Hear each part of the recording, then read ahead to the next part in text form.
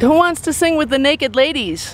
One of the common names for this, of course, there's a longer Latin name. Blah, blah, blah, naked ladies. Or naked men if you prefer. What's the name of this plant? It'll have a flower that's pink.